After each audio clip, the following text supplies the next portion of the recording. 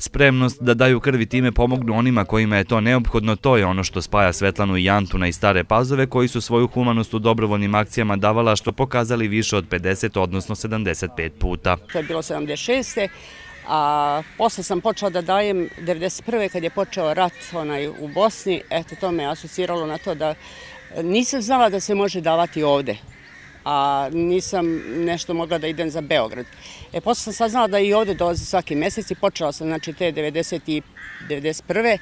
i od sad, od tad sam dala ovaj, preko 50 puta. Jedan sam treba biti human. To je prevashodno. Da li ćeš ti dati ovome ili onome? Dao sam ja i namensku krv. Jeste i to ovoga, daješ, znaš kome daješ i zbog čega daješ. Ono. Ali isto tako, treba dati krv. Toliko ti, što rekla je gospod, toliko nesreća tih ima. Toliko treba ovoga, te krvi da se dare. Zašto ne dati? Ono? Ako možeš. Ono. Verujte mi, ja sam kandidat 76 puta dao krv, ja ne pamti kad sam bio kod lekara.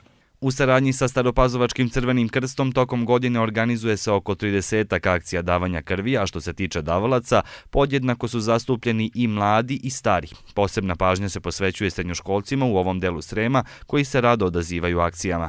Krv je lek, jedini lek koji ne može da se napravi za sad i koga pravi isključivo ljudska solidarnost – I uh, ovde je to prosto, ljudi jesu solidarni, uh, dolaze na akcije davanja krvi, u ostalom imamo jedan vrlo lep plan godišnji koji u svakom mesecu u toku godine ima bar, bar po jednu, dve akcije. Među najčešćim davaocima u Srbiji su zaposleni, zatim studenti i učenici. Krv mogu da daju zdrave osobe, stare od 18 do 65 godina, muškarci u intervalima od 12 nedelja, a žene u intervalima od 16 nedelja. Pre davanja krvi davalac popunjava upitnik, podvrgava se lekarskom pregledu i kontroliše mu se vrednost hemoglobina.